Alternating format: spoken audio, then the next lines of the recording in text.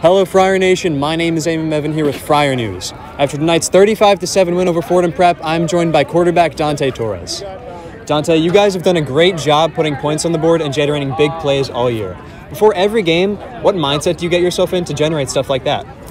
Um, it's really just locking in. Uh, my teammates make it very easy. We all before the game, we're just very focused, and um, it's not really so much before the game. It's the week before preparation, watching film, going hard in practice, and we put it all together in the game. The coaches give us a good game plan, and the team comes out and we execute. All right. Last time you stepped on this field, you had a whopping 340 passing yards and four touchdowns.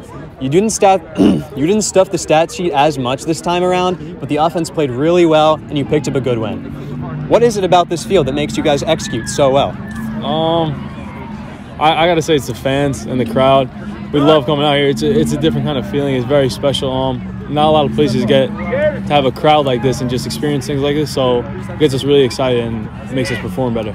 After a tough win this week against Cardinal Hayes, you guys stuck to the run-heavy scheme that got you the win, and you came out with another W tonight. What mentality do you guys get in before the game, and what mentality did you come out with tonight as an offensive unit as a whole that had you guys going out there so well? Um, a lot of teams see us as a pass-heavy team. In the beginning of the year, we started off pass-heavy, pass-heavy. The run wasn't clicking as well as we'd like it to, and we got to show teams that we can run the ball as well. We have two great running backs. Our line does a great job handling up front, and if it works. We don't passing is a lot harder than running the ball. If we could run the ball with our great running backs like we did the past few weeks, we're just gonna keep on doing it. All right. That's Dante Torres. I'm Eamon Bevan with Friar News.